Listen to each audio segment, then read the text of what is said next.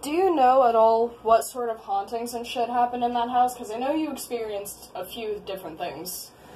Um, it was a lot of like it was child stuff mostly, but Are you sure it wasn't like demons and shit? it well it didn't ever seem to be demonic. It never seemed malicious or anything. Um, well, I mean, the night that the spoon hit me in the ass, and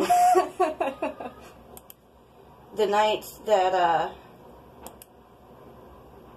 the night that the spoon hit me in the ass, and the night that it smacked that something smacked James's ass in the shower, um, I kind of think was Joe.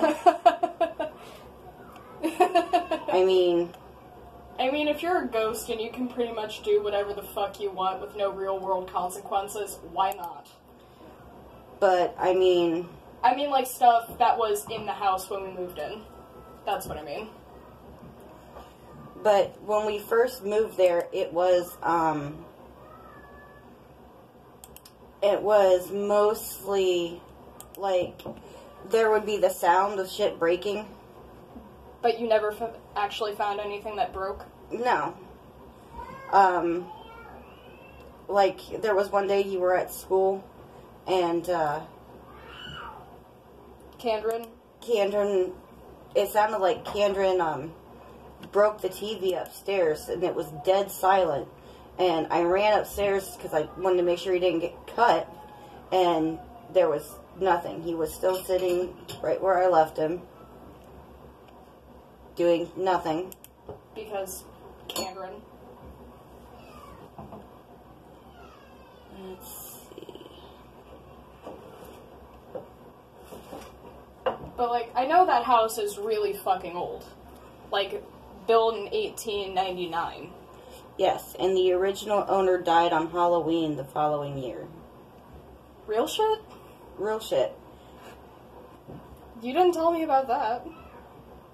And his wife died, I think, just before then. Like, just before he did. And they were both buried in the cemetery that was just outside of uh, town.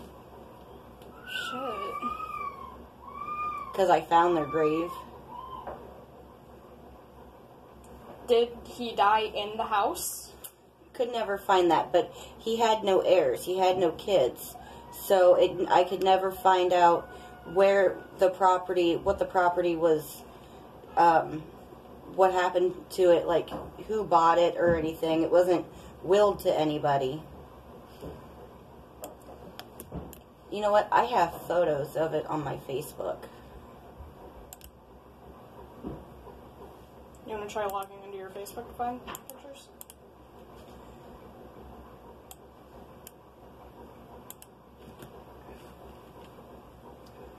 I forget what it was. Maybe it was Google Maps. I tried Google Maps. I couldn't find it on there. Well, I mean, I found it, but I couldn't find pictures.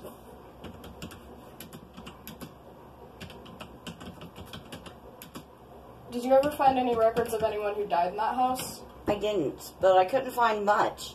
Um, what I did That's find, what I did find was um, it was it was uh, here we go satellite.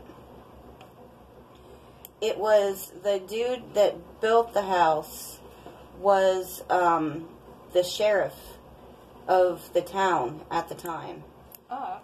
And back in those days, if he had been a radical, like they until like the 1970s did not allow um, black people in their town, like just didn't.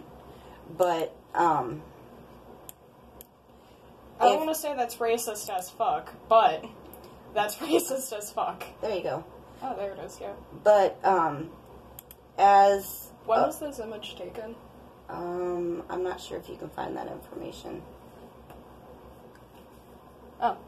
Uh, this image was from 2014, that the year after we moved out. Yeah. But, uh.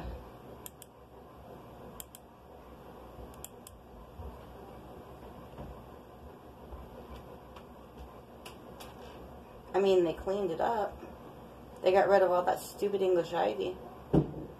But this wasn't actually our window, if you remember right. Yeah, because they split the house up.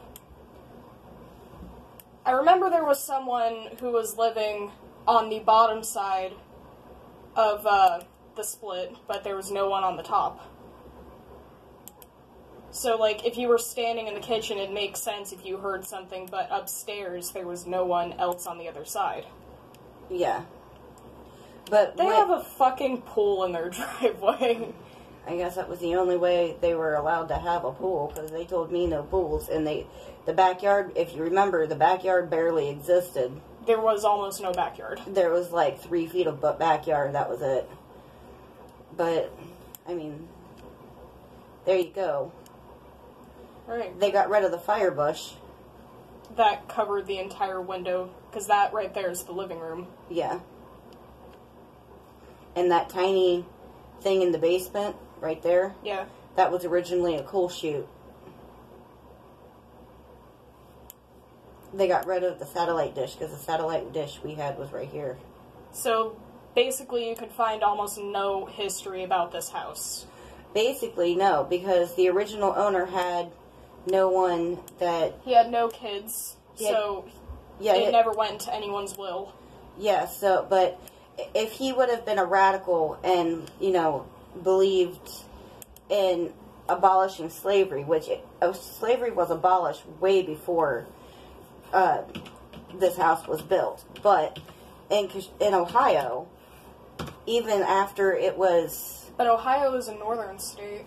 Yeah, but we still helped people to freedom because just because it was abolished does not mean that it was okay. So there was a tunnel that was Yeah, I remember down in the basement. yeah, there was a tunnel that led underneath the street. Now, um, and it ran to that big ass house across over here. hmm and it's if you look, it's really fucking old too. It's got like the original um, wrought iron fence and stuff. So if the affluent people, and this was an upscale neighborhood at that time, um, Isn't it still an upscale neighborhood? Because I know the houses in this area were really fucking expensive. yeah, um, if they would have been opposed to slavery and attempted to help slaves, that would explain a lot of the activity. But also, But um, there's in no- the 1930s, So there was a there was activity there relating to that, but you couldn't find any history about it. yeah. Well, you have to remember our um, basement floor. Part of it was um, a dirt floor, Yeah, which means they could have buried slaves that had passed. I don't like to think about the fact that there were bodies in the basement. That's not something that I like to think about. However, that would explain a lot. but um, there was um, in the 1930s they would have had prohibition and prohibition they would have been moving liquor and them moving liquor there was a lot of people who died doing that too hmm the fuck would I have put these photos? Because I had photos of the inside of the house the day that we moved in. And I'm pretty sure this is the profile I would have put it on. Hey, like, can you leave your Facebook up when you go back upstairs? Because there are pictures that I want to look through just to see if I can find anything. Because, you know, spooks like to show up in the background. Yeah, I never caught any though. Didn't you, like, catch orbs out front? No, that was the house in Toledo. The house in Toledo was haunted as fuck, too. Yes, Just not, like, it- not nearly as much, but it was. in a different way. It wasn't anything that ever bothered us because it was afraid of Joe. Well, And- of course it was afraid of And the sicker Joe got, the more it, the it, more orbs and stuff it fucked with us. But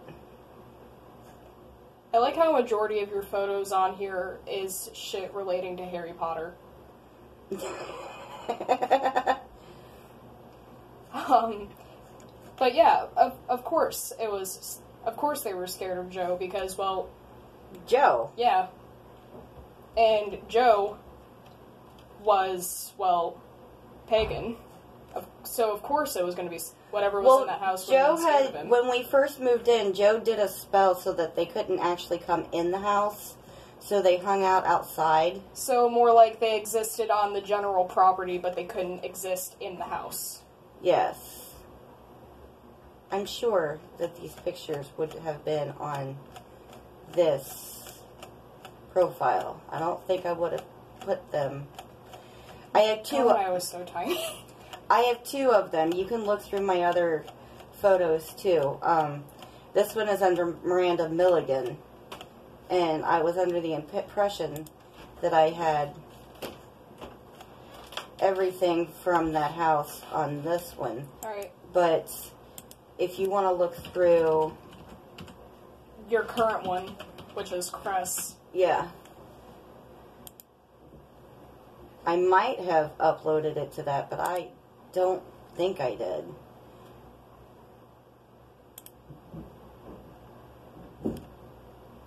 But you'll have to scroll and scroll and scroll to get to this one, unless I have an album.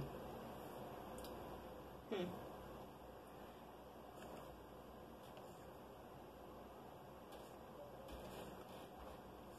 I don't know, it's. I just suddenly remembered today about all the weird shit that happened in that house. Well, I guess I did because this one was. These are taken in that house, so I guess they may have posted in there. Like I said, I'll go through everything and I'll see if I can find it. But I know that I had photos of the front of the house and of each angle in the entire house when I when we moved in because I was showing everybody what the new house looked like and it was fucking huge and it was only part of the house. And I have tried to get the landlord to knock down that one wall so that we could have both sides of the upstairs so that Cadence had her own room. Because if Cadence had her own room, we wouldn't have had to move. Mm-hmm. But there was no. But also, there was no insulation in the entire upstairs. But there, well, there was no way for me to put Cadence in your room because your room was tiny as fuck, and I couldn't move Cantron and Hunter to your room and move you and Cadence to the other room because then Cantron and Hunter would have had a tiny as fuck room. So that w- room being so small was the reason that we moved. There was just no way around having another child and having no place to put them. Alright. Thanks and thank you for helping me find shit, Mom. You're welcome. Um,